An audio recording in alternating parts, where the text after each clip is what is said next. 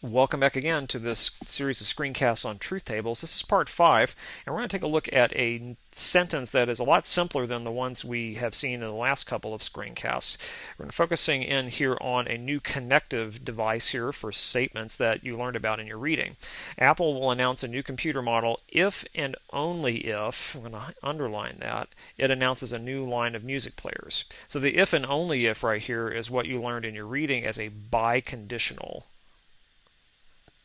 or more correctly, the statement you are reading here is a biconditional statement, not a conditional statement, which is like an if then, but it's really a pair of if thens. A biconditional statement is true when both of these statements that it joins are true, or when both the statements that it joins are false. In other words, it wants the two statements that it joins to have the same truth value, whether it's true or false.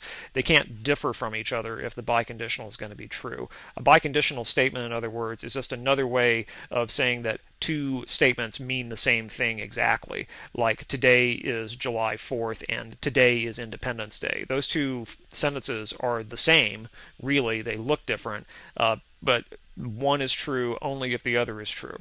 So let's parse this out. It's pretty simple to do here. The first statement that is in this biconditional is Apple will announce a new computer model.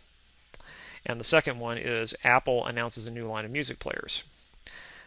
And so to put this into symbols, uh, let's call the first sentence P. Again, there's nothing to break down in this first sentence here. There are no uh, ands, ors, or nots, or if-thens involved. And the same thing is true for this one, so we'll just call it Q. So there's only two basic statements in here. We'll call them P and Q. So this is base, this is saying P if and only if Q or in symbols, we will write P and then a kind of a double-headed arrow that points both left and right. P if and only if Q. Sometimes you see if and only if abbreviated IFF in uh, the literature.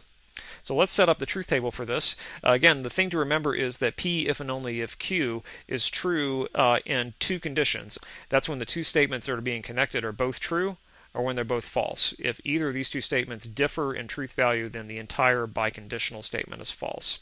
This is a two statement statement, and so we're going to set up four rows. Let's list out the truth values for P and Q. True, true, true, false, false, true, and then false, false. We're only going to have one line for this, and this is just going to copy what you learned about biconditionals. Uh, in the first row, the two statements are both true. They have the same truth value. And so the biconditional is true. In the second statement, one is true and the other isn't. That makes the truth, the biconditional statement false. In the third line, again, one is true and the other isn't, and so that makes the biconditional statement false.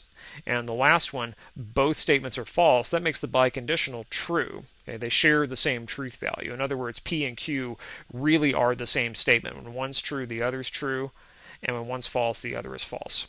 So thanks for watching.